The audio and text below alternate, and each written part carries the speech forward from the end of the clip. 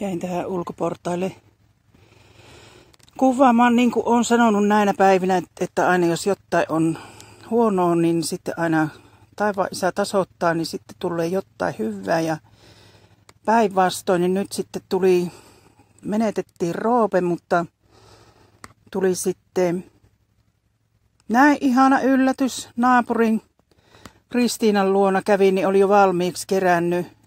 Mä arvin, että minä menen kaveriksi sinne poimimaan luumuja ja viinirypäleitä, niin kahtokee, mitenkä kamalasti ja mitenkä, mitenkä hyvin voi kasvaa Suomen oloissa niin viinirypäleet. On siinä mulla tuota tekemistä, kun minä saan ne tuhottua.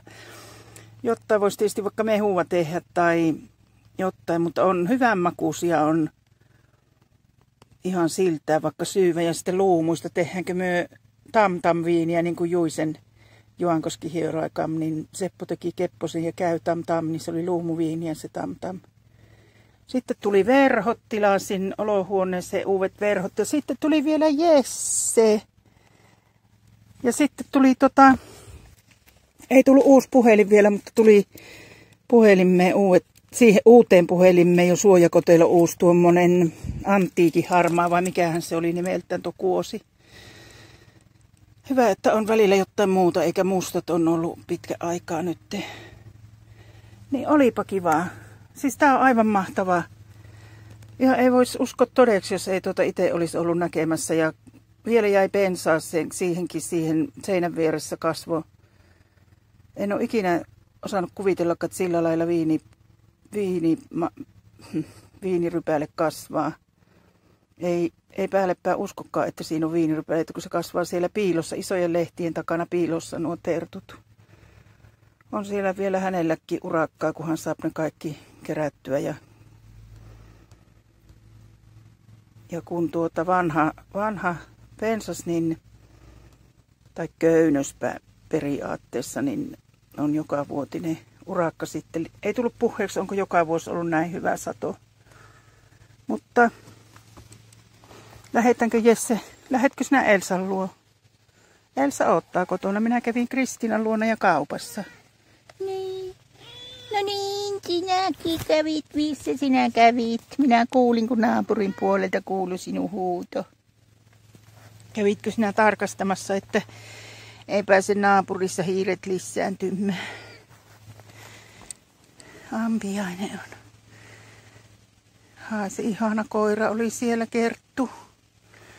Aivan kerta kaikki sen sulonen koira, kuule Jesse. Kyllä myös semmonen voitais ottaa.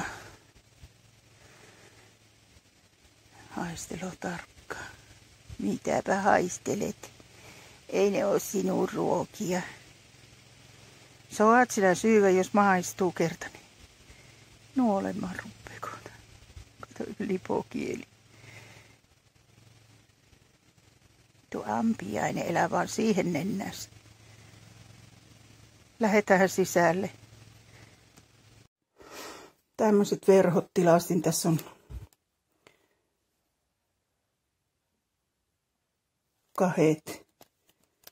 Eli neljä kappaletta, eli näihin ikkunoihin ja ne on lyhyemmät, ei ole alas asti niin kuin mulla on aikaisemmin ollut tässä pimennysverhot.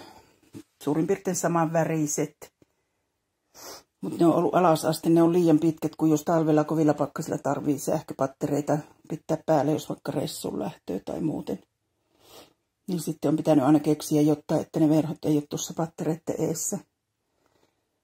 Niin nyt kun on nuo, vaihon nuo uudet verhotangot tuommoiset, niin voipi laittaa näistä sitten, tämmö, voipi käyttää tämmöisiäkin verhoja pitää.